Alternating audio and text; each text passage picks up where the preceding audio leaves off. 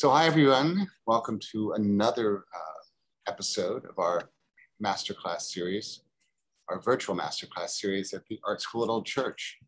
And uh, we're very fortunate to have Tom and Maggie Jaszczak here today. Uh, I believe teaching us or introducing us to their work and their processes uh, directly from um, Minnesota. Did I get that right? Minnesota? Yep, that's Uh, right. And they, I think everybody knows them well. Uh, they've shown all over the place. They've spent a lot of time at Penland and at Archie Bray. And then I found out that you met at Archie Bray. So Yes. that's a nice, uh, I don't know what you would call that, nice unexpected outcome of an artist Yeah. residency. Um, and so let's just, uh, and Megan is going to be doing uh, the moderation as always. And I will be here I don't think I'll, I will be here at the very end when we have questions because I have to go to a rehearsal not too far from here, but I need some lead time. But I'll be here for the workshop. Thanks to everyone who supports the art school and thank you for uh, coming today. It's going to be great, I know. So I'll turn it over to you guys. And oh, let's all mute our, our except for uh, Megan, let's mute our mics and uh, blacken our screens so that it's not distracting. Okay? Is that all right with you folks?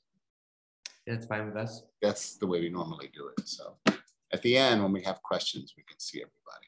All right, now let's see if I can model this. Uh, good. Did I, s- am I gone? So Pam, if you could turn your screen off, that would be great. Your camera. And then we have to resume record. Oh, we are recording. Good. All right. Should we get started or? Sure. Yeah, go ahead. So yeah, I think the format that we were gonna go with this morning is I will demonstrate how I make a altered oval picture.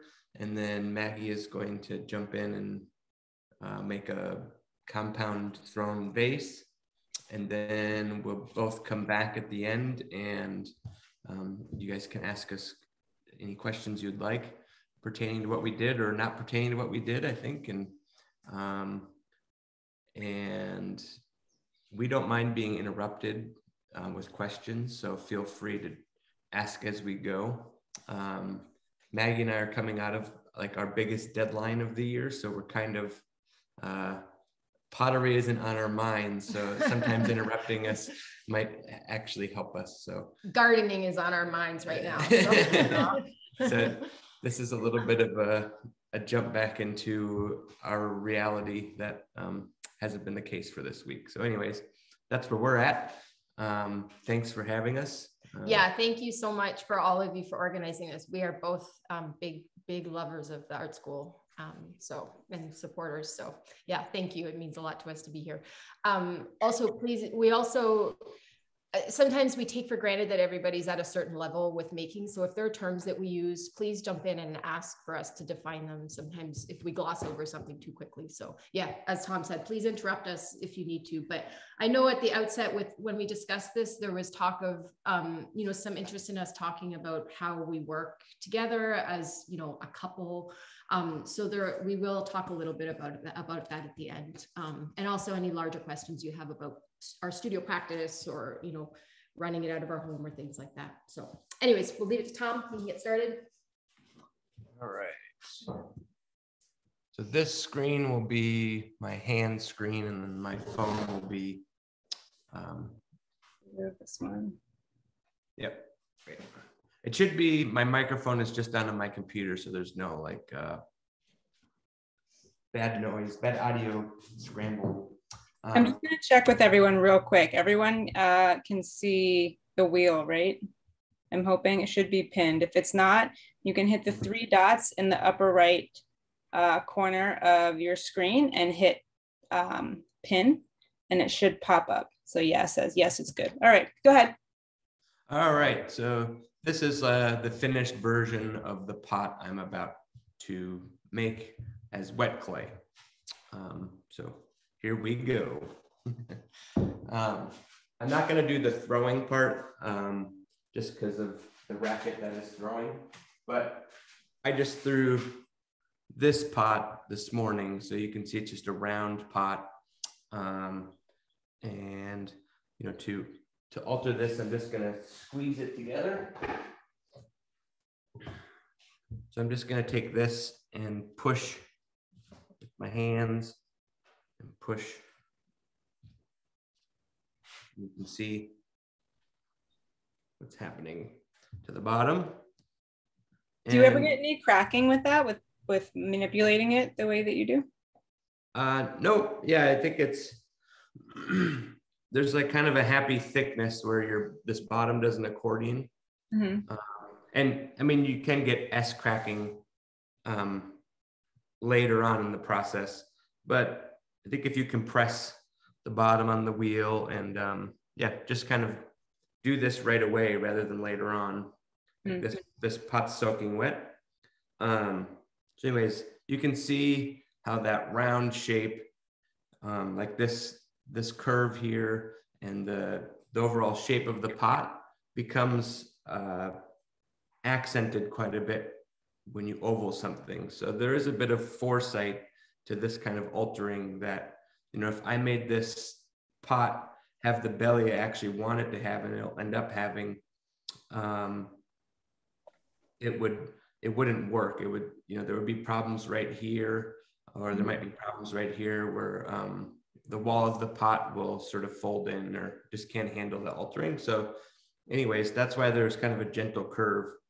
And the next step that I do to alter this is to kind of punctuate the hips of this pot. It's a very like figurative pot. Um, so I'm gonna reach in here and just stretch that out and then turn and I'll stretch the other side out. And now you can see this altered back.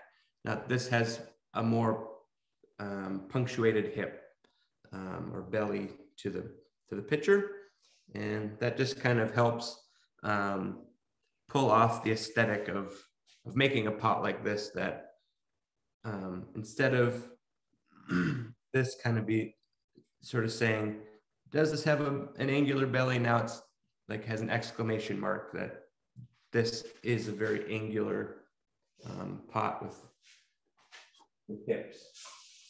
Um, now I'm going to put the add the spout. So I'm just going to take a little bit of water on my hands and pull gently pull this up. How much clay would you say that you started with? How many pounds of clay? Eight pounds. Eight pounds. see how that's starting to change. Yeah, there you go. Yeah, that's better. Um, the reason to have two cameras is your sloppy hands. Somebody All asked right. how thick are the walls on that piece? Oh, they're like kind of a normal thrown pot thickness, like I maybe like three eighths of an inch. Okay. Um, but I would like I'm not too terribly interested in like sort of wheel athleticism, so I don't um, throw terribly thin pots, and I'll later you'll see that you know I just use a Surform and take the weight out where I want to, and and just kind of you know a lot of my throwing of pots is just about like a efficient way to get a wall, and then I spend a lot more time on trimming, which is what you'll see here in a minute. So I got that where I want it, and now I'm gonna take my thumbs and pull up right there, and then you can see how the spout's starting to get articulated, and I'm just gonna use that articulation and work my finger, my index finger against my thumb.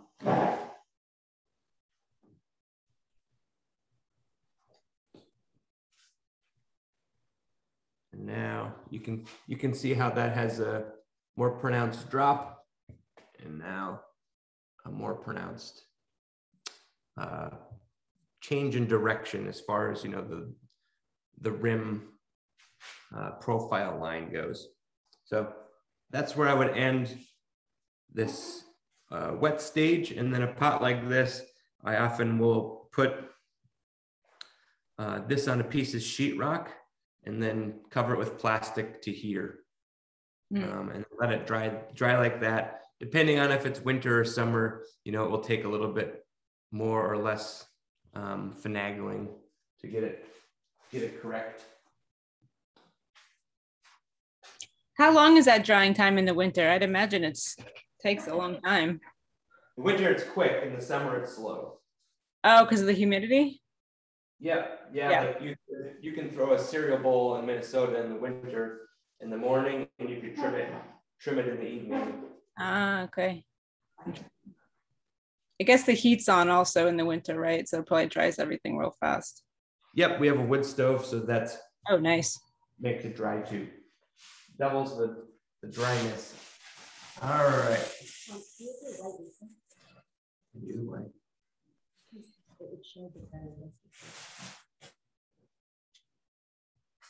All right, so now we have the same pot, sort of.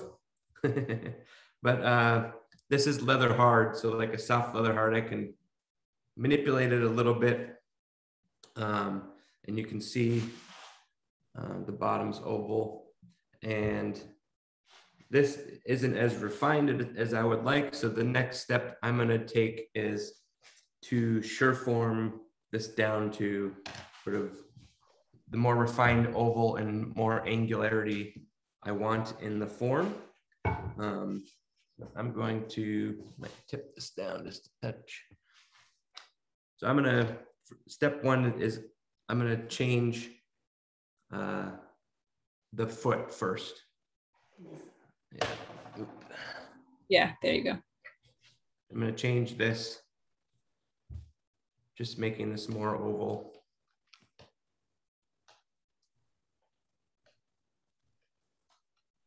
And when I alter pots like this, over time, I kind of figure out uh, what is the right order of operations so that one, you're putting less stress on the pot because you know a lot of times flipping pots up upside down and all around, you can s- start promoting like a rim crack and, um, and there's just ways to make make this kind of slow trimming uh, be more successful. So for this pot, it's foot first.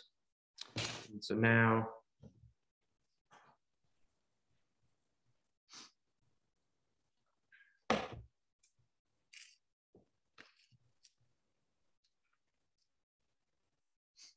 now we have a Hmm. more exact oval. Um, so the next step I'm gonna do is define a foot, and I just use, this is like a Sherrill uh, Mhm. aluminum rib, and it's like a, a little bit thicker gauge than like your traditional like rib that might be like that. So it has, has a little bit more rigidity. And I just, I use this rim a lot to kind of trim or define pots. So I'm just taking this and making a foot. And Do you find that the grog gets pulled out as you're using that? What kind of grog is in the clay? What kind of clay are you using? um, I'm using red, red like mid-range or earthenware clay. Um, and yeah, the the grog is definitely going to get brought out. I I add brick grog to my clay. So I mean that's you know surface wise, my pots are all about that kind of moment of like a a 1900s uh, press molded brick. You know Mhm. that's that's the kind of reference I am after, and it you know if, you know basically a way to think about this is if I'm going to put all this work into trimming most of my pots, I want to accent all that work, not hide it. So the brick grog um, really does that and gives my minimal pots like a first rugged material kind of layer. Mhm. Um, and so that that's a big part of the aesthetics of my pot. So now you can see I have this foot ring defined. And so now I'm going to is take a loop tool and trim this just like you would on the wheel, but not on the wheel.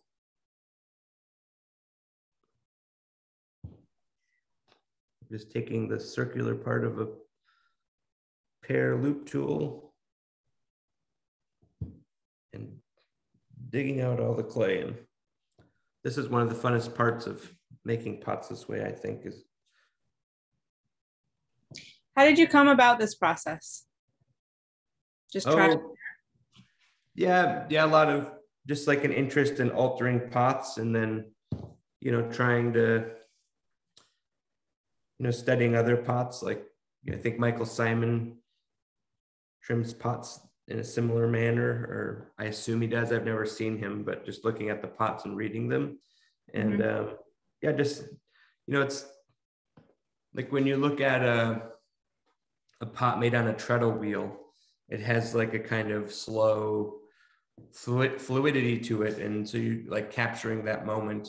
And that's like a big part of um, like Minnesota pots Hmm. is that kind of like slow movement and, um, you know, capturing that kind of moment. So I didn't want to make pots that were just about somebody else's pots, but sort of thinking about what I loved about those pots and then, you know, sort of making your own language and, and this is kind of what came out of that. Can you tell everyone what that kind of wheel is? I don't know if everyone caught that. Okay, a treadle wheel is like is uh, like what Bernard Leach used in England, and you know that's there's a big lineage in Minnesota of um, from Bernard Leach through Warren MacKenzie, and it's just a a wheel that um, runs on a treadle. So there's a a lightweight flywheel. Um, I'll show you. There we go. Yeah, let's see. But that's what a treadle wheel is. And you can't see the, you can't see the wheel part, but this there's always that trapezoid pan that um, is where the wheel is. So it's just a you if you guys have Lockerbie wheels or those kind of wheels, they have a heavy flywheel and a treadle wheel has a light flywheel, which changes how the pots look.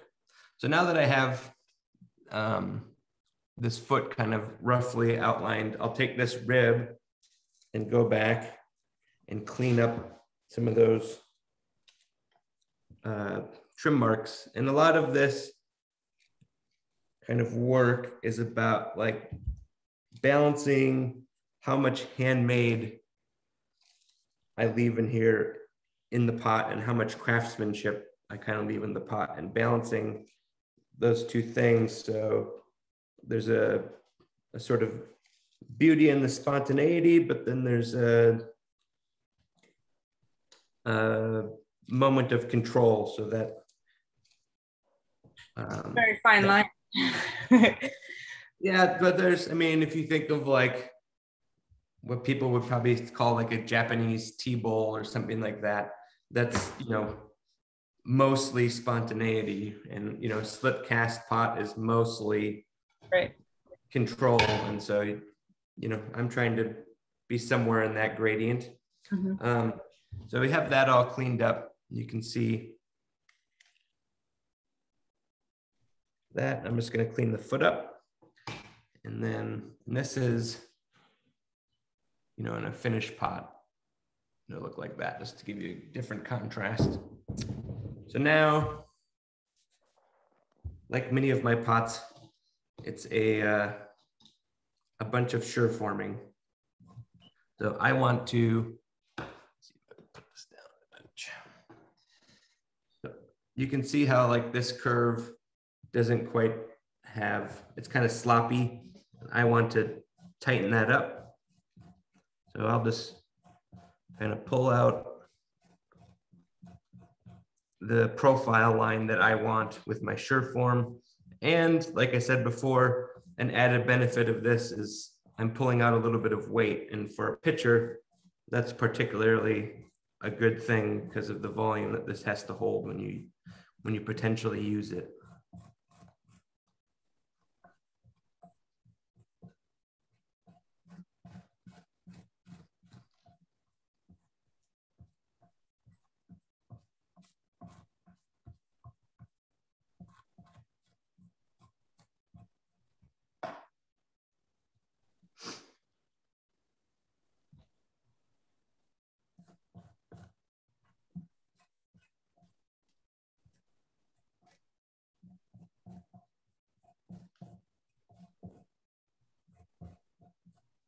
Do the little droppings ever drive you crazy? they always drive me nuts. Well, they make very good reclaim. That's true. That's true. but I mean, for me, it's like a before lunch, there might be a, a massive mound of them. They're just sort of part of life. yeah. So I need to flip this upside down just to get a get the bottom profile worked out.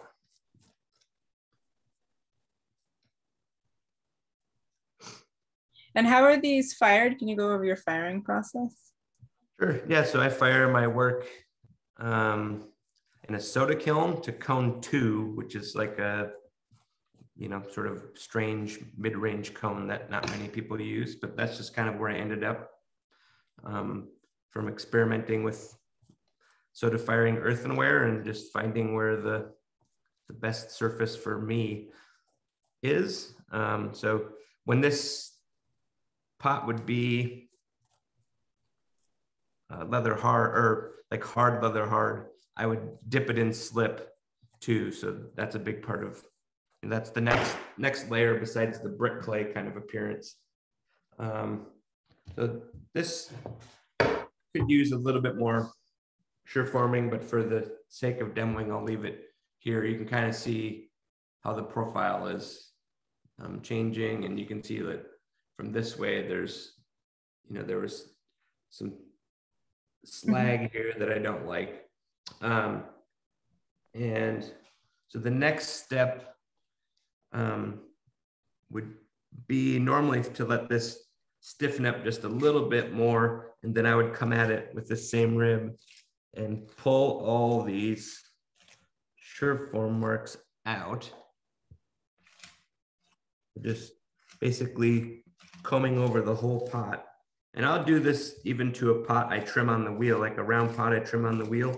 I'll pull out all those kind of static trim marks and add this surface. Nothing, for nothing else, just because I like this kind of scraped, um, sometimes even has like a little bit of a stucco kind Is of. it possible to get a close up just so everyone can see kind of the texture from the shear yep. form? Yeah, so I'm gonna grab, I have a picture that's done. Okay. And I'll grab that one for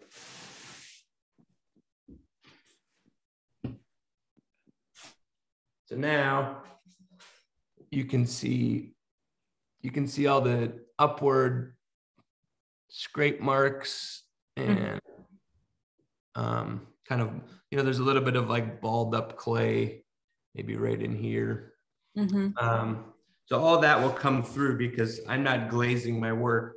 I'm making slipware. So those kind of details, they all shine through for better or worse. So you need to really have a good handle on them. You know, if you're you know, wood firing in an anagama kiln, soda firing, not using glaze, but slips or raw clay. That I'm sure as many of you guys know, when you're not dipping your pots in full on glaze, those process marks, they become a lot more amplified than when you yeah. dip in glaze and that, uh, you know, thick layer sort of covers up some of that stuff. Um, again, for better or worse, depends on what you're after and how controlled you are in it. So this pot is ready for uh, a handle. So you know, it's the bottom's all refined, the profile's all set, and it's um, yeah, ready to add a handle. So I'll just use a serrated rib like that. And I'm gonna just add a little water here to get the clay a little bit softer. And I know that the handle is to end up down here. I'm to square that a little bit. And I'll set that aside because I'm to pull a handle for you all first. Um, I have you know, this handle that I pulled an hour ago, and I'll, that's the one I'm going to add. Um, for this kind of pot, it just helps to have a little bit more rigid of a handle than just a freshly pulled handle, which is what I mostly use on a lot of pots. But it's quite a long handle, so You usually use a freshly pulled handle, is what you said?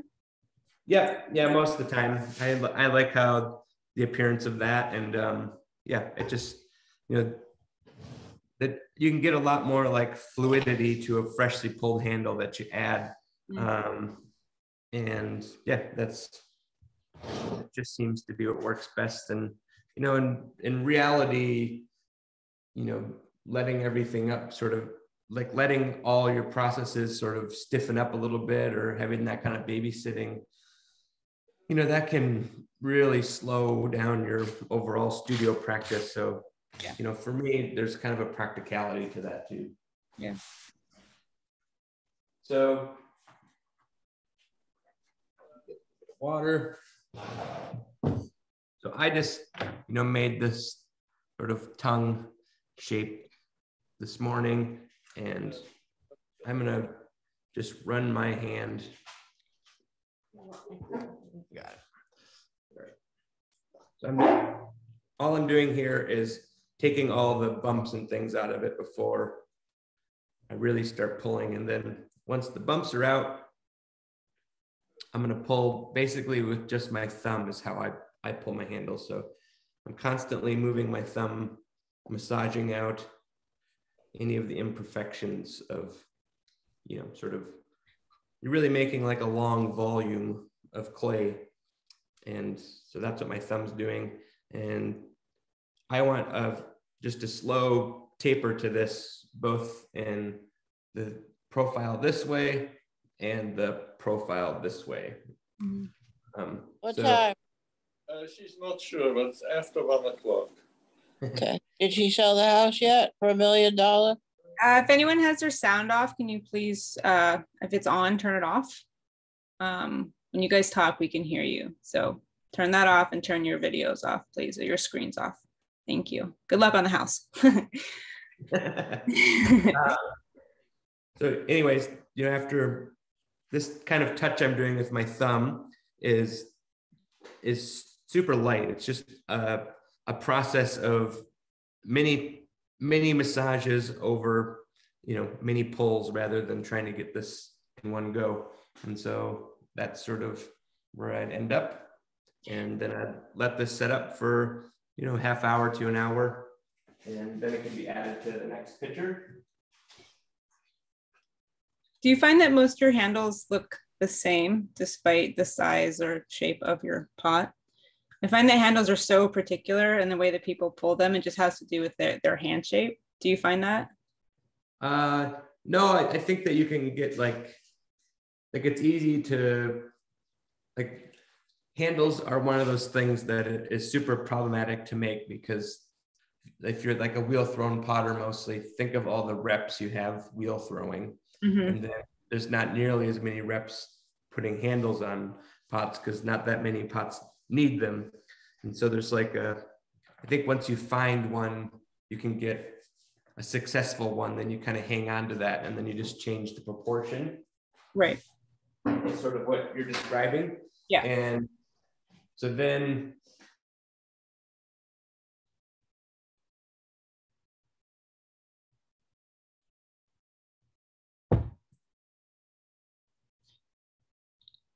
Uh-oh, we lost your sound. I lost your sound. I don't know. Did anyone else lose the sound?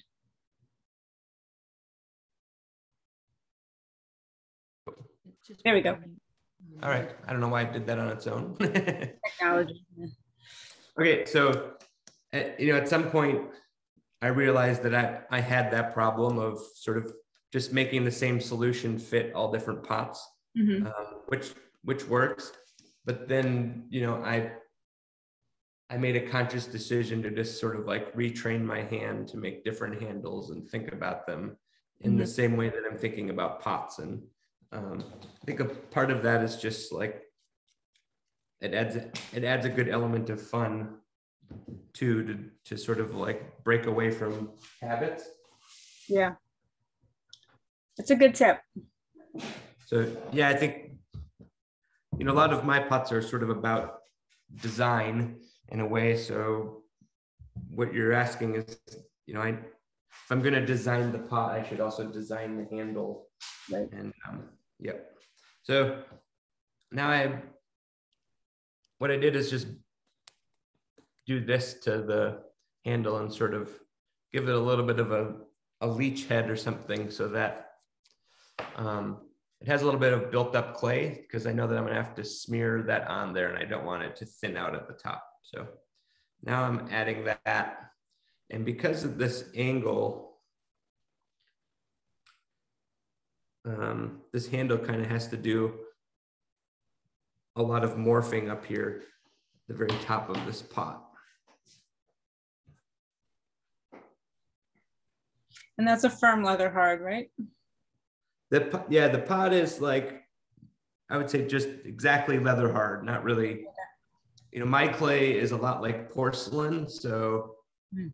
um, I can't get away with adding a hard leather hard. Like, there's a lot of like technically adding stuff to pots has so much more to do with a pot already being shrunk than trying to figure out how to like correctly score and slip something Mhm. um, there's the closer you can get to adding like wetness clay to each other then they're going to shrink the same and that's where cracking really comes from is it actually shrinking and Right. scoring and slipping is just a way to you know meld two two different wet clays to make them similar so i don't even use slip on any any pots i just use water and you know add add stuff when it's exactly the right moment to add stuff. All right, so I have that attached. And then the next step, uh, I'm gonna just kind of take out all those tortured marks by giving this a, another one pull, one last pull.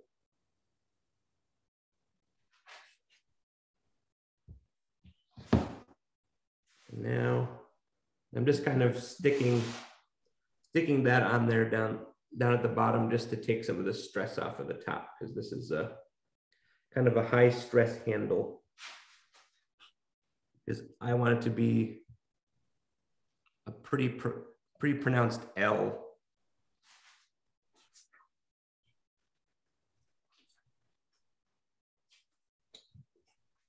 All right.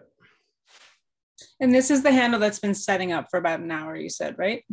Yep. Yeah. Okay. So it's it's kind of like clay that you just took out of the bag. Right. So if you were trying to do this with something that you had just pulled, because you said that you like to use uh, freshly pulled handles, wouldn't you have an issue um, with that L shape? Would it be really difficult to get that? Yeah, yep. So like other handles, I'm not trying to do that. Okay. So if you like, you know, one, look at all of this negative space, like I'm cantilevering this handle so far. So that's where, you know, I had to come up with a different resolution to to get the handle I wanted.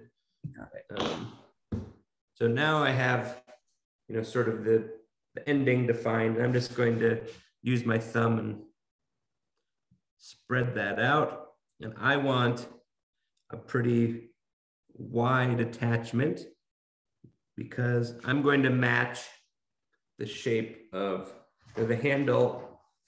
The handle slowly tapers down, just like the pot slowly tapers down like this. And then the bottom where it attaches is where it widens back out. So that's what I want in the handle, right? So there's a bit of unity to the shape of the handle this way versus the shape of the pitcher, right? Yeah. Goes back to the overall design, right? Yep. Yeah. So that's like a big part of Yeah. um, handle. You know, how you design a handle has a lot to do with just mimicking the pot. Mhm. Um, I'm going to roll just a coil in my hand and add that to the inside so that it has a fatter aesthetic kind of attachment, which isn't functional in any way, just aesthetics. This is the this pot. I like like this fat attachment.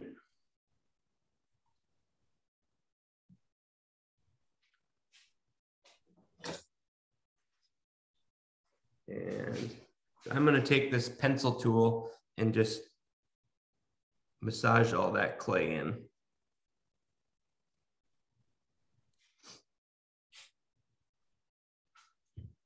And I dip this in water too, so it's not too sticky.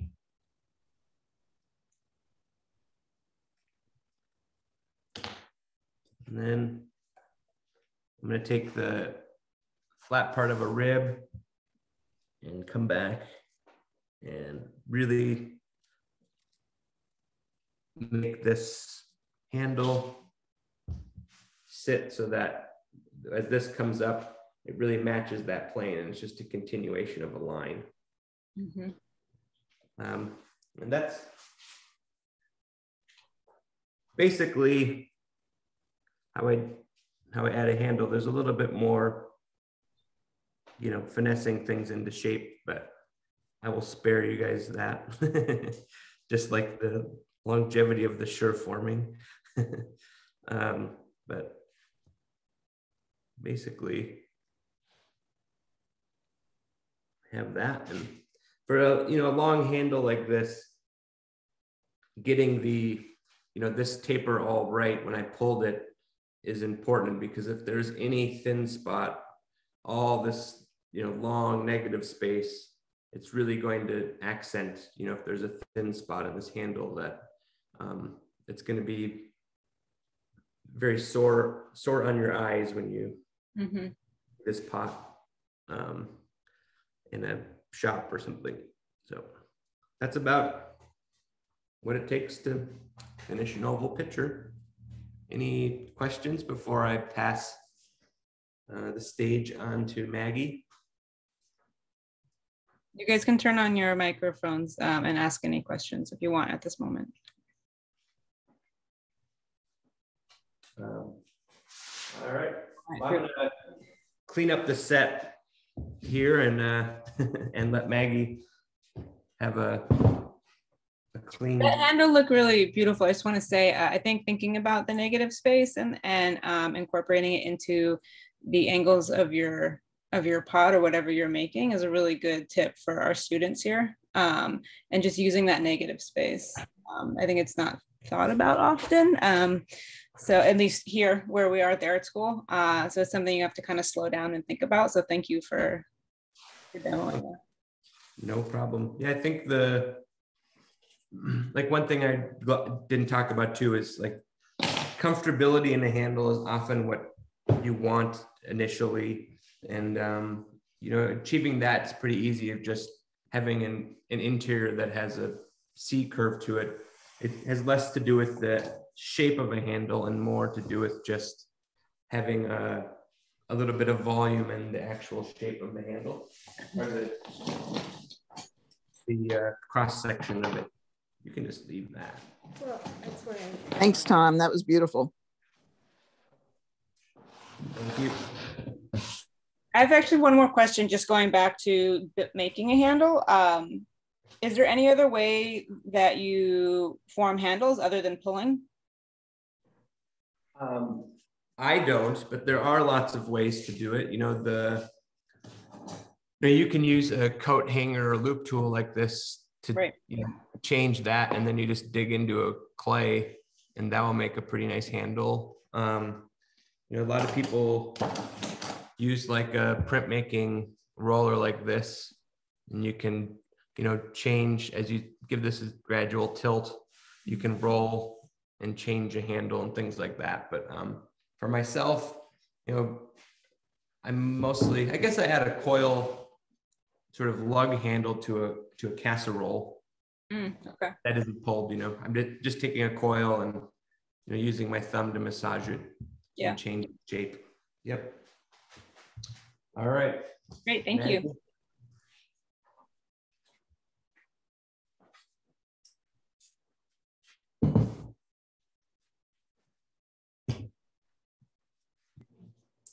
All right, hi everyone. Um, so I am going to walk you through the steps that I use to make a multi-parts vase. Um, and it's a process that can be applied to, you know, in, in numerous ways. This is the way that I use it.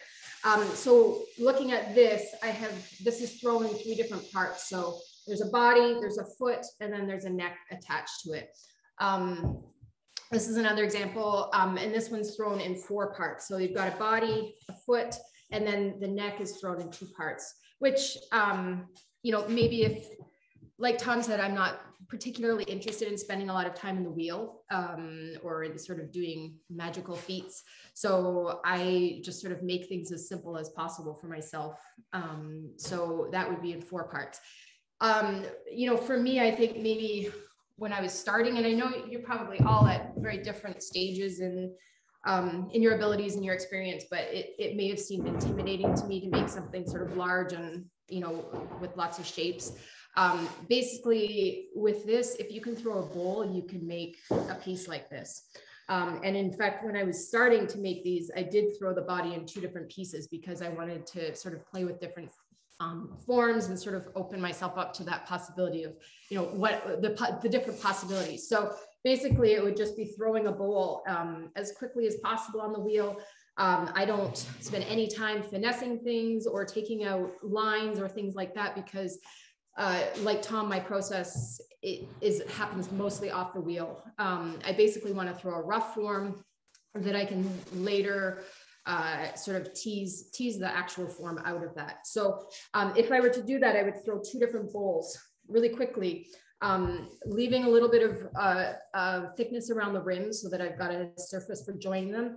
Flip them over on the wheel, trim that off as quickly as, you know, again, I spend probably less than a minute trimming this, just get it centered, just take, take the clay off. Um, and then I would join these two pieces together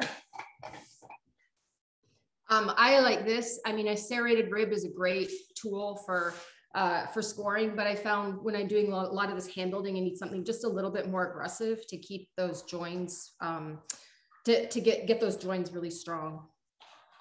So just score around the edge of both of these.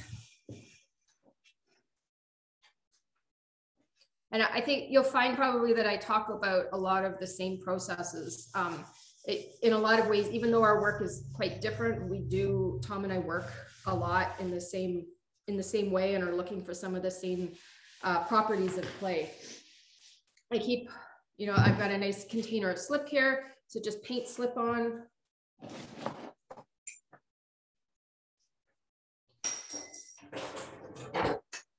One side.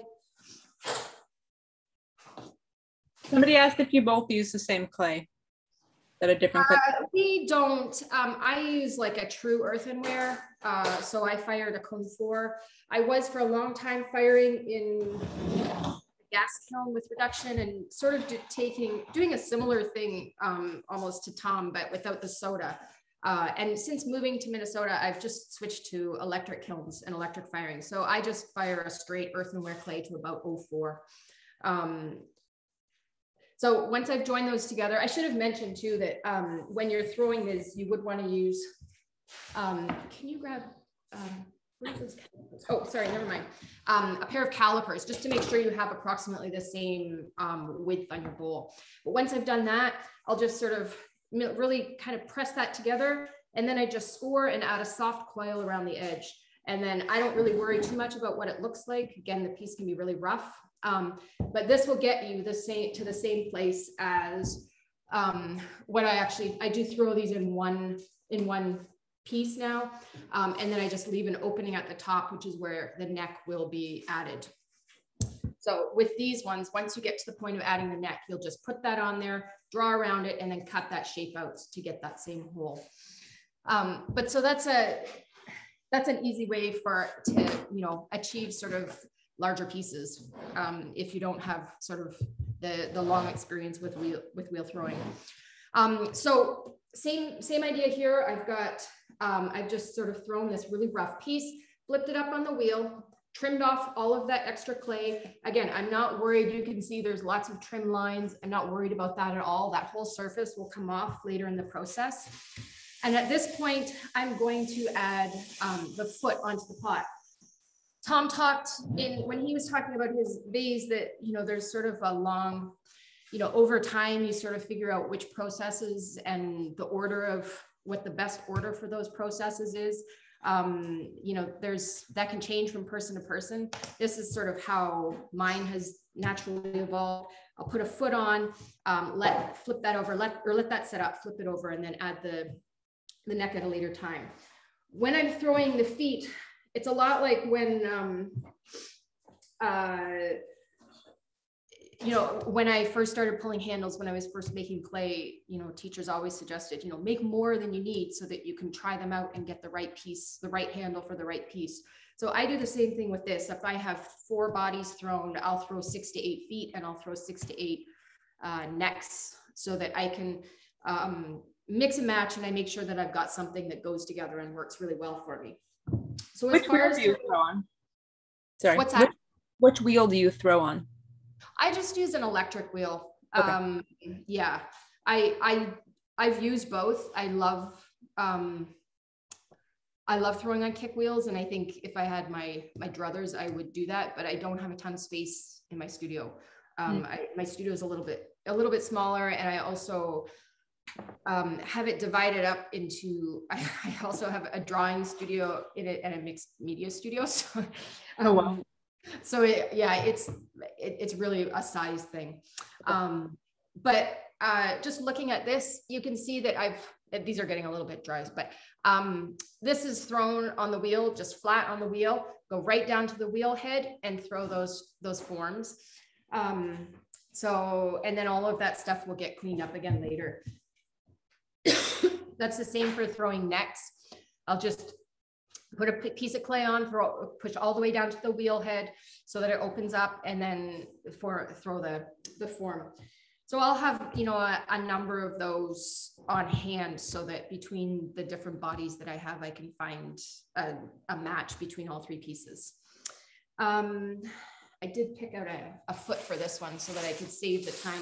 Sometimes the process of matching feet and bodies and necks uh, could take me all morning um, to figure out what I actually like. So I tried to save you that the pain of that. so this is one I've thrown right down to the wheel head. Um, because of the curvature, sometimes I need to to trim some of that stuff off, but on this, I, this one, it's sort of, you know, soft enough that I can kind of press that around. Um, I'm gonna get that approximately, you know, where I want it to go in the center um, score really well. Again, I use this. It gives me really deep ridges that um, just, just for all the sort of joining that I'm doing, it makes sure that it's a nice, stable, stable join.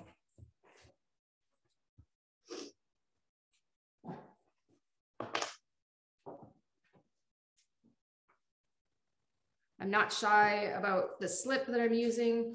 Um, I, I really have found that uh, working quickly and rough, like quite roughly in the beginning works for me. And then I spend the time sort of through, throughout many different steps, I kind of refine each, each one. Add slip to that side.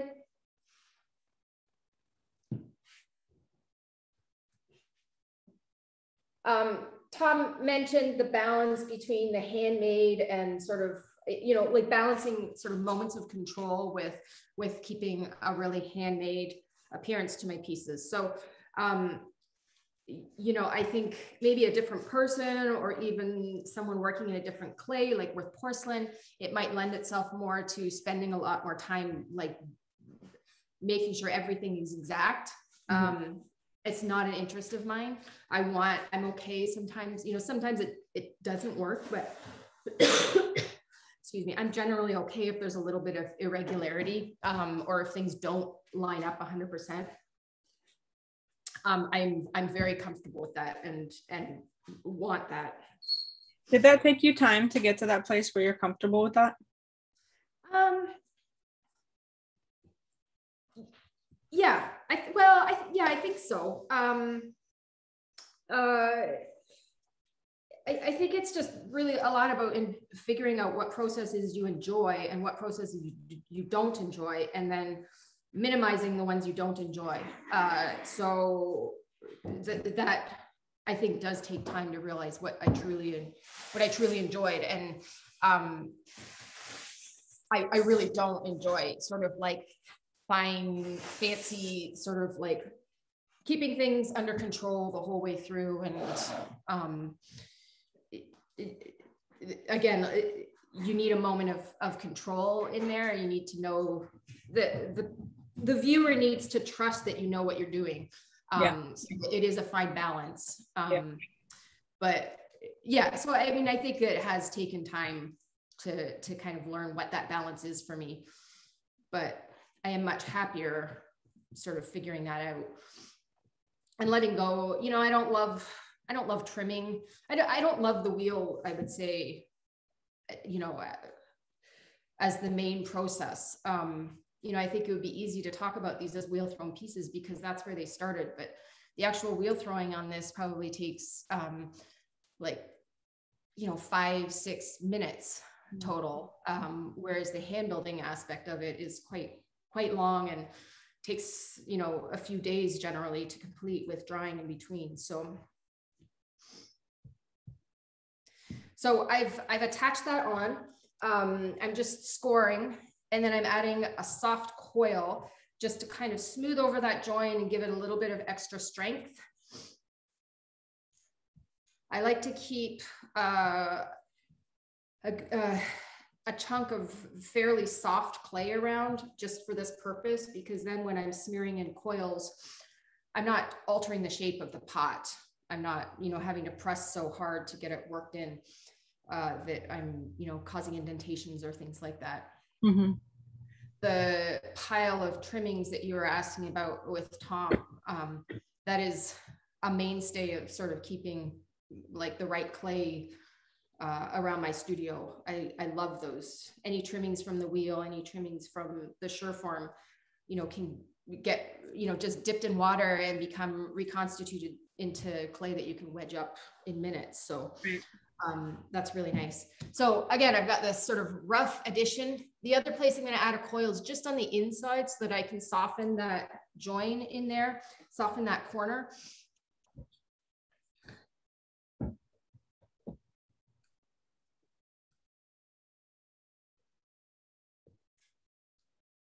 I, I think both like in thinking about the wheel, Tom, both Tom and I think of the wheel as just sort of another tool. Um, I think when I was learning, it was sort of like, that's what you need to learn. That's what learning about making pots is learning how to throw. Um, and, uh, you know, I've really come to think of it as it's a tool like the Surform, like a slab roller, like any other, any other thing that we use in the studio. Um, it's a quick way, like Tom said, a, a very quick, efficient way of getting walls on a pot. Mhm. So I think it's a really good thing to learn for new students as well. Is it's a tool. It's not the end all be all, but it is a tool that's useful for you. Yeah, I mean, I know I when I was learning, it was it was all wheel. I mean, for three years, I just learned the wheel. That's you know, hand building. Uh, I, I put that in, in quotes, but it, hand building was sort of like a byproduct, or you know, just sort of like a sort of aberration almost. Like, why would you do that? Um, but I, I find it, um, it, it very kind of meditative. And I think that it's a nice way of sort of keeping control over a pot in slow motion. Like sometimes when you're throwing, things are moving so fast um, that uh, it, it, it's harder to make decisions. Um, you don't have as much time to make decisions. So I've just added a coil on the inside just to soften and round the edges on the inside. And at this point, I'm just gonna let this set up until it's leather hard.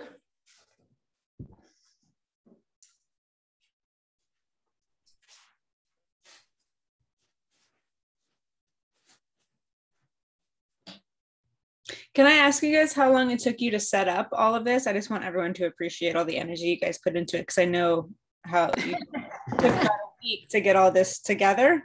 Uh, Yeah, well, for me, I mean, it- especially because things are sort of drying slowly, it- it's, yeah, I mean, it's sort of like, there's four different stages of, um, you know, throwing and then throwing the parts and then letting everything dry, putting, putting the pieces together, so. the, the best way to explain it is uh, Zoom teaching is like a cooking show, and Yeah.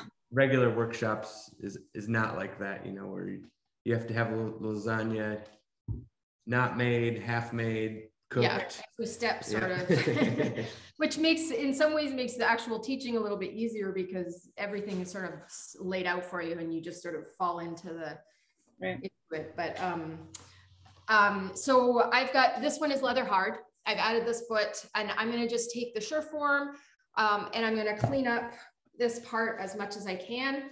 Um, the this is where sort of the I start to make more fast decisions um, about the actual form, like where curves are happening. Um, you know, if if there's a place that's not working, this is where I sort of need to take that clay off. It's also the first stage in taking weight off. Um, when I throw these, I'm not worried about too much about the thickness. I actually want to have a little bit more thickness so that I can, I have room to um, make decisions later. Um, if I'm throwing something, if this is already sort of really thin, um, then I'm not going to be able to change the form and and pull out what I actually want. Mhm. Um, I, I remember I have this very clear memory of my instructor when I was first learning to throw, of my teacher, um, throwing a little pitcher and then watching him trim it.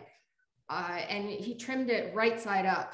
Uh, so, you know, he was just sort of using it on the wheel and and it was just this really magical beautiful moment of watching like it was like a little bird stepping out of something I, it was just this beautiful moment of watching this form reveal from reveal itself inside um inside this sort of like messier chunk of clay Right. and I, I think that I, I think about this process sort of in that way um it sort of as a slow a slow reveal Mhm. um, so I'm first off getting making sure that this curve and this spot in here is what I want it to be. And then also working up the body of the pot, trying to take off some of this clay because right now I have um, sort of gravity working with me in that I, I can have this upside down and I can press as hard as I can on the pot without, um, without cracking it or changing it. Um, Yeah. Once the the neck is on, then that all of that becomes a little bit more problematic. So.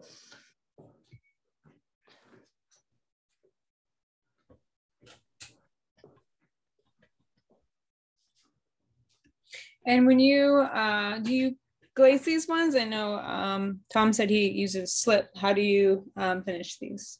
So I use slip as well. Um, I do use a red clay, but everything pretty much turns out white. Excuse me.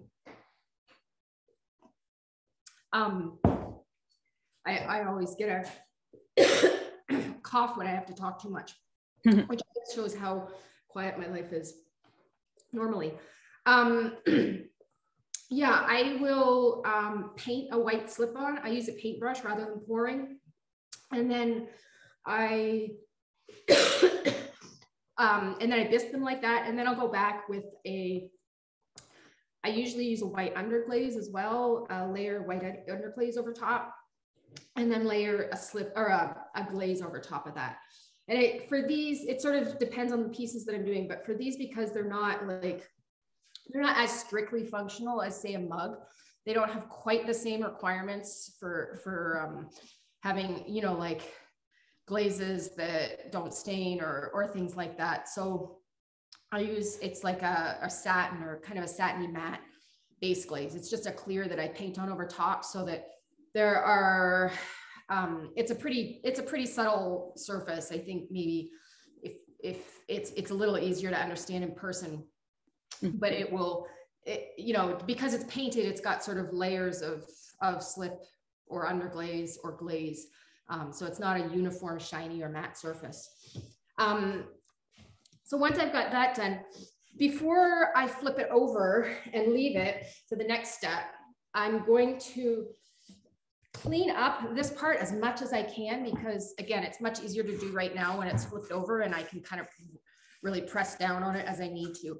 So I've got my serrated rib and I'm just going back over it, much like Tom was doing with his rib um, to take out all those Surform marks. Um, it's sort of like using different grades of sandpaper. Like the Surform is like a 60 grit, and then This comes through at 120 and then I'll go back with a smooth rib and that'll be my 320 uh, grit sandpaper. So um, this is sort of the next, the next layer. And I like to do it at this stage for the bottom of the pot, just because it's so much easier than having to flip it over again and work on it sideways once the neck is on. So if I can at least get that weight off and get this surface sort of in place halfway up the pot, that's sort of what I'm, I'm looking for. Um, can you talk a little bit more about your slip? Like what's in it? Do you guys buy it? Is it commercial made? Is it something you make? Um, it is something we make. Um, I know we both have a couple different slips that we use.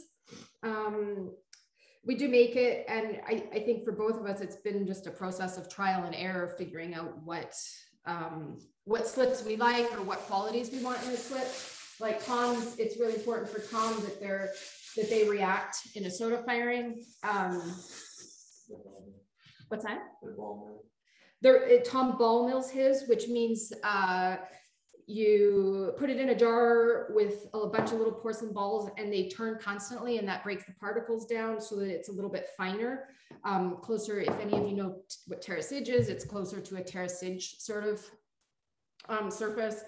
I don't do that but um, i i mean mostly i'm looking for for whiteness in mine. Uh, one other quality that's nice is that um, if if you can add that to a bisque pot. That's a really nice quality because for both Tom and I, for some of our larger pieces, uh, it's it's problematic to try and slip them in greenware because they're so large. They're, it can cause cracking. So if you can bisque it first and then apply the slip, um, that's really helpful.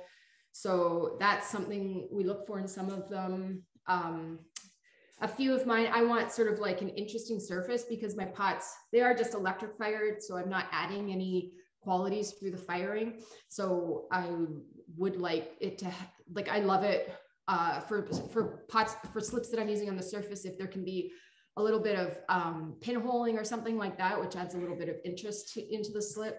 Mm. Um, uh, paintability, like, you know, if I can paint with it, some mm-hmm. slips are more, work better with that. So. You find that cracking is an issue with you guys on a regular basis or no? Uh, well, we both have certain pieces that it's a problem in. Mm. Uh, it's, it's fine. It's fine with mugs and you know smaller things like that, but um, the larger things or things with joins or things with really fine rims, um, it can be it can be more of a problem. Mm-hmm. Um, so I've got that. I'm going to flip it up now, and at this point, I'm going to add my the neck of my vase. Um, and I, I want to make sure again that it's it's you know relatively centered. I'm not looking for uh, for perfection ever, but um, uh, so I've drawn that circle, and then I'm just going to cut, leaving you know half an inch or three eighths of an inch overlap for the for the neck to sit. And this is a really nice stage uh, of leather hard. It's, it's holding its shape. Um, I don't have to worry about um, it sort of collapsing or anything like that, but it is definitely um, still soft enough to take an attachment and things like that. So you can see I've left an overlap. I'm gonna go through, score around the edge,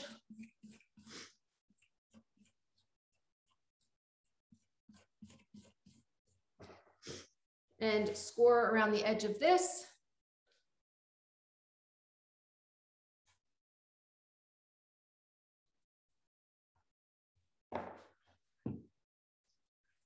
Lots of nice goopy slip.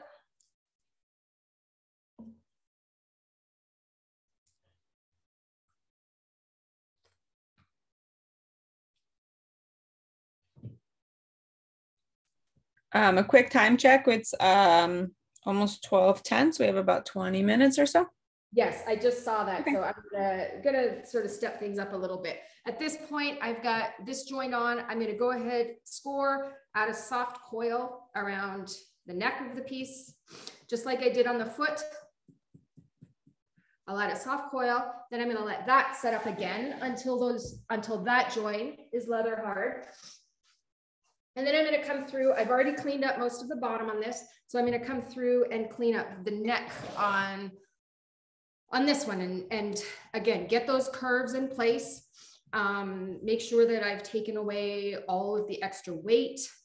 Uh, because I can't get my hands inside to feel the weight, I really have to rely on the feel of it. Um, and these have like a, a melon quality to them. Where like, you know, if any of you have children, like the head of, you know, your your kid's head, um, it's just, you know, they're sort of like both strong and sort of fragile. And so I, I have a pretty good sense through just picking it up if I've got clay off in the right spots and, and got enough of it off.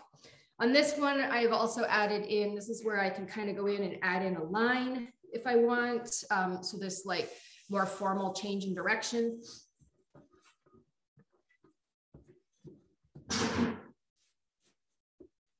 And I'm gonna just take off all of the clay that I, I want. I know there's a lot of extra clay in this neck, so I wanna thin that down a little bit.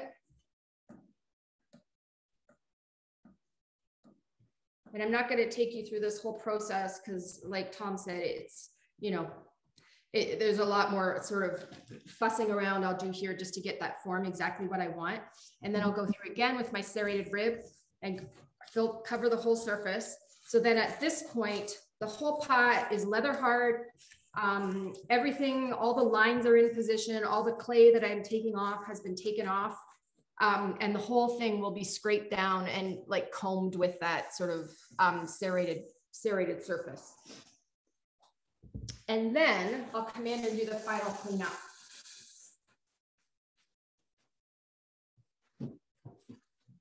So I've let that one set up, um, you know, let it dry for, you know, sometimes it, it depends what season it is, but you know, half a day or so of sitting out should is usually enough. So it, can you guys see that surface? So it's all got that combed surface. Then I'm gonna come in with just my plain rib and I'm gonna clean that surface up. I'm gonna take out all of the that combed surface. So um, I do generally add grog to my clay. So this is a moment where, you know, all of those little bits of grog will get dragged and, um, you know, any sort of throwing lines or trimming lines, things like that, that are still showing through will get taken out.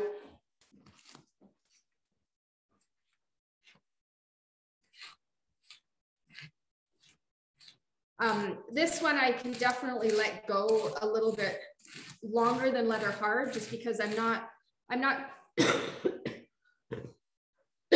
excuse me, I'm not changing anything at this point. And it's helpful to have the clay on a little bit of a little bit drier because then it's just scraping off the top of the, the little comb marks rather than pushing that clay back into the clay mm -hmm. and sort of smearing it. So pretty much for all of these, there's like a right sort of dryness at which to do all of all of these steps, which again, like, you know, has has taken time to figure out what what works and now I'm just going to work on the top part of this because I do want to leave enough time for um, you know questions, things like that. But I'll just show you sort of like the final steps for the top part of the piece.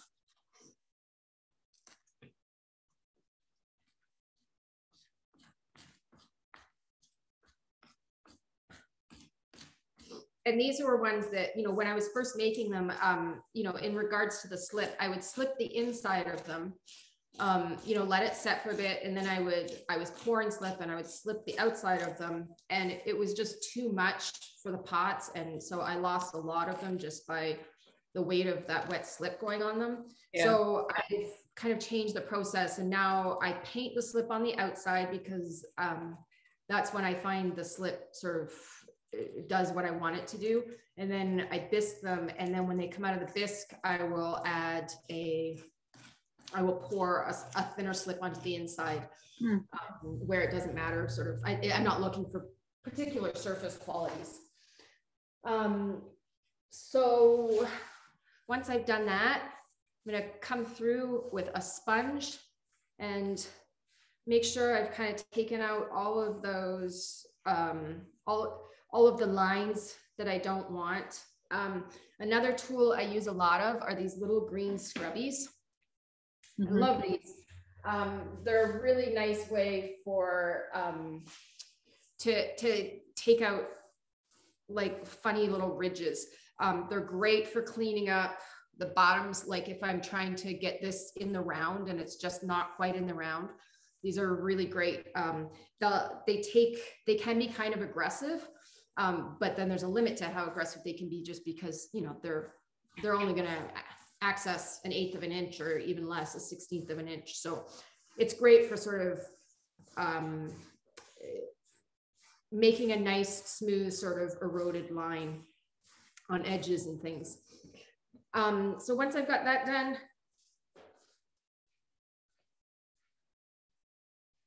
I'll, and I will do it over the whole pot. I'll lie it down on a piece of foam and clean up the bottom as well. But for time's sake, um, then I'll come through with this red, this red one. And that's, this is sort of the, the last step is just smoothing. And this gives it almost like a burnished sort of sheen. But it really just sort of, it makes it clear to me, first of all, if, if there are any sort of spots that need attention. Um, I don't know if, the, if that's clear to see on, um, You can see the sheen, yeah. yeah, but, and then that's, that's it. So at this point, I'll let them dry. Um, uh, most of the way, I'll let them, I'll let them dry to almost, almost bone dry. And then I will paint layers of slip on in a few layers. Excellent. Um, and then that's, yeah, that's it for, for vases. Um, Do you find that um, that process you did just did with the sanding and the scraping back, you do a lot more when you're under stress? It's almost like a meditative thing. well, it's you know, like Tom said, he does that even on on any pot that he throws on the wheel. I do that with mugs, with everything, Everything. uh, and I do. I love that that sort of. Um, I love going like a little too far, and then you get to take the surface back and back and back to what you want, um, so that uh, you're, you know, you're you're sort of giving yourself all the possibilities, um, and then you get to choose which ones you actually like, rather than you know, if you throw it thin right off the bat, then you you you don't have that surface to play with. So, Right. but yes, it is. It is. uh, It's always. It's the most satisfying part of like you know finally, you know, I, just taking it from something like this sort of Frankenstein thing with these horrible coils everywhere, and then um, taking it to this quiet sort of sheen. So Nice. Okay. Um, I can invite everyone to turn on their videos and turn on their sound. And if you um, have any questions, um, I was gonna actually ask, can we see your studio? Can we? Can you give us a tour? Is that possible? Yeah.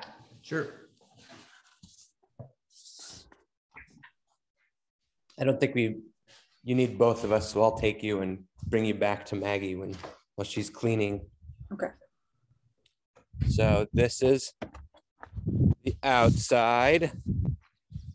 We gotta turn it around. We can see you, but we can't see the outside. Um, I'm walking away. All right. So it's like a barn Like a style. barn. Okay. Yep. There's our house. Great. That's a nice property. Wow. Yep, we have five acres and a 1800s farmhouse, despite the ugly plastic siding. Um, so anyways, then this is my studio, which was a two-car garage. Um, which is where we're demoing today. Okay. There's our heater, which today is actually cold enough to have the wood stove going. Unfortunately, You guys cut your own wood? You get the pellets or? we get slab wood, so like the the edges of a mill. So I don't have to split, but I just cut to length. So, Okay. and then we have um, two electric kilns, and this is kind of since it's a bar barn. The you know the bottom is twice as big as the top part, the loft, and so this is sort of our communal space. So we have um, a glaze lab and then we have a gallery. Do you guys create all your own glazes? I'm assuming so, but Um, yeah, I mean, I only use like a sort of fake majolica. Okay. And uh, Maggie uses a probably a, a couple more glazes and you know like commercial clear as well. So then I don't create the glazes, but I make them.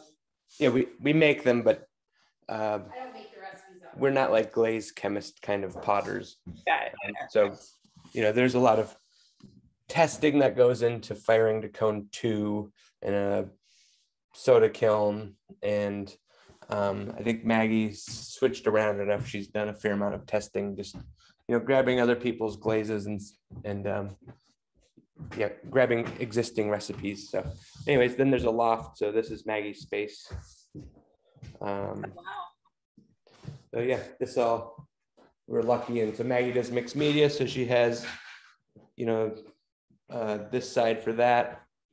And then this side for making pottery. So. Which is messy right now. sorry i did this off my computer so it's not as uh, accurate shooting of the camera but. So yeah that's uh that's our studio You guys have a good amount of space for each other. It's nice you have uh, two different levels too.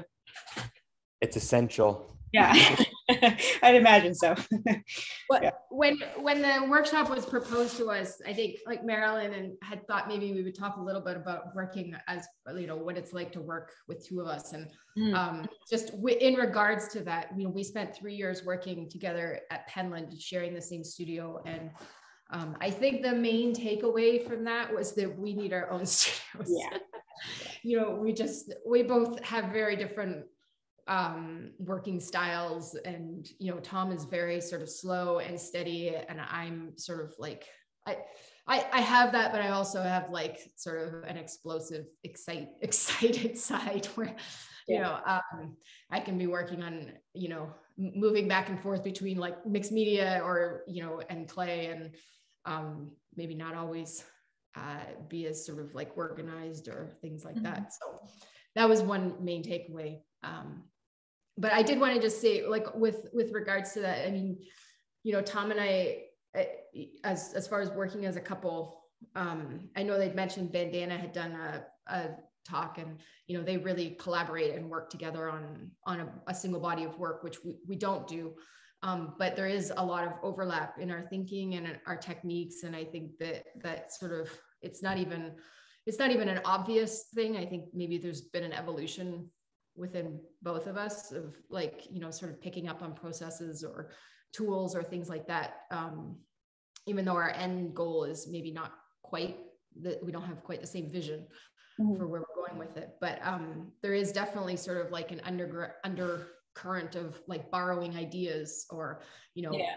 um, or maybe even a simultaneity of of ideas where i'll be thinking about making something and I'll I'll come down to the studio and Tom's made that thing that day or something. Um Oh, wow. or it's just like a, a funny sort of coincidence of, you know, the things we talk about or look at or something that we see when we're together that we're sort of- both riffing on still life right now and we've never talked about that our work going that way it just sort of like we're both you know fell on the same path but you know it's a different riff but it is you know there's pairs in both of our work right now or something like that so Oh, okay. Okay. just uh, funny pairs the fruit yeah, yeah. funny, a funny coincidence you know like i'm getting a lot of influence from my mixed media work which then feeds into um, you know the the clay or vice versa um, things like that. So um, yeah it, i mean there is sort of a funny collaboration that's that's not intentional um, which i think i think we're both pretty comfortable with. Um, i mean i don't um, i don't think it's not plagiarism if you're married. Yeah exactly. I'm gonna quote you on that. That's funny. says the man I was just having this conversation with uh, Karen, who's on here, about our studio and just working in um, a community studio, and a lot of things get shared like that. oh, Um, yeah just the it's just what happens when you're with somebody or a group of people. Um, it's almost like human nature to Yeah. um, share these things in a way. It's like how we've evolved as humans. So Yeah.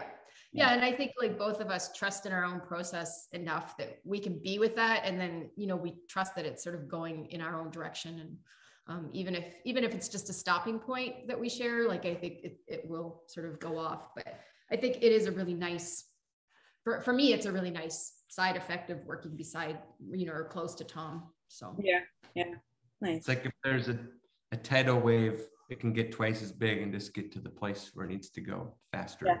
yeah, So Makes sense, yeah. Does anyone else have any questions? Got it quiet. Quiet punch. everyone's still muted. Yeah. Turn it on. Um, do you guys find your your child uh, inspires you? I don't know. You have a five year old, right? yeah, we do. Yeah. Oh yeah, he's he. Uh, maybe not with clay, but he definitely does with um, drawing. Like I have a whole shelf of sculptures up in my studio that are his, where he'll take like the pieces that I have in the studio and just sit down and like I want to do this, and like you know we sit and hammer something together. And I mean they're ridiculous. Right? I mean it's ridiculous how easy it is for him just to be Yeah. like, um, you know, this is this is my piece, and um, drawing is really really ins- inspiring for me and really fun to see. So, Yeah. but yeah, maybe not so much in clay. I think. It probably just changes like your patience and things like that. That you know, it, there's he's five, so he's just about to enter school. Um, so for the last five years, you know, all of nobody gets their own time. It's all sort of like, um, you know, he he basically chooses whose studio he's in every day. And so, so for one month it might be Maggie, and then the next month he might be me, and that's sort of how it goes. But is- you never know. You can't count on it. so, Yep. I But- fully understand that. I have a five year old as well, so Yeah. I get it for sure. Have you found that it's a lot uh, harder to work uh, with a child, just having a child in your Oh, life? yeah. Yes. I think maybe it's less hard for Tom. I'm I'm an adventure. Um, I Mhm. think he's easier. He he has an easier time separating sort of Hamish's needs from his own. Mm, Uh, but I and and maybe that's just you know having nursed with him and you know just have a different relationship. Um, you know, I really was the, uh, for the first few years like the primary caregiver. I think so. I it's harder for me to separate myself from him in that way. So Yeah. I think it's been a little easier, but it gets easier every you know he every works year. two different ways in our studio too. My Maggie's studio has a couch and like he gets that in between space that's sort of his. And if he works in my studio, he's just standing on the work table that we're talking from right now. And so, it, you know, sort of eye to eye. Yeah. Right in the middle of it. And so there's there's some times where it just isn't going to work that he Right. can't be in my space because I need all the table or whatever. But um, Right. anyways, Audiobooks, a lot of audiobooks. Nice, So- okay. Sounds like somebody needs their own little studio. Wall off part of your Uh, He's talked about it. like when I have my own studio or whatever. like today is our day off normally and so they sometimes we're like it's it's family day like what do you want to do like should we go for a hike and he'll say Let's go. let's to go the, to the studio and No. we're like save that for tomorrow yeah, yeah, yeah. All right, um, you guys are are you coming to the show? You are, right? The I am, yeah. Pottery show. Yeah, I, I thought I saw your name on there. Yeah. Um, well, will he be coming too? Will your child be coming too? Is the family coming? I No. don't think so. I there there was a time when we may have done that, but it's a pretty long. You know, from North Carolina it might have been easier, but from here it's it's a pretty long trip. So Yeah. it's a tight show to have a kid in yeah, that Yes. too. And I it's agree. just yeah, it's not that that fun for the other parent. So no. Yeah. I agree. I wish. Yeah. well, thank you for um, being here on your day off. I feel a little bit bad now. that you- Oh, okay. that was what i was saying No, that wasn't what he was been saying at all. any day can be our day off Yeah. we're half retired Yes. Yeah, yeah. Um, well, thank you for being here, and I look forward to seeing you at the Pottery Show. And um, just one last shout out. Does anyone have any questions? Let's see. Let me check. No, it looks like no. Um, okay. All right. Thanks all so much. Yeah, hopefully you there's some things you can take back and apply in your own studio. So Yeah, definitely. I got inspired to go try uh, a, a couple of things that you said. So, and I'm gonna get on my Surform a lot more. I use that once in a while, but you've you've kind of inspired me to sort of push a little bit more with that. So Oh yeah, it's the, it's the basis of both of us, our practice, so. yeah, yeah. We were, Yeah. yeah, fear the day when they won't sell them anymore, but. No, don't say that. Don't say that. you have to make your own. There you go. All right, well, thank Alright. you all so much. Thank you. Thank Thank you. That was really you. What a interesting. great experience. Great, Great. Talk to you soon. Bye. happy Sunday. You too. Thank you, everybody.